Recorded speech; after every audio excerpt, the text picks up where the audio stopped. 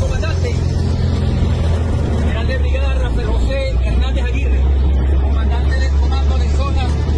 número 62 de la Guardia Nacional Bolivariana cantonada en el Estado Bolívar. La mañana de hoy nos encontramos realizando un ejercicio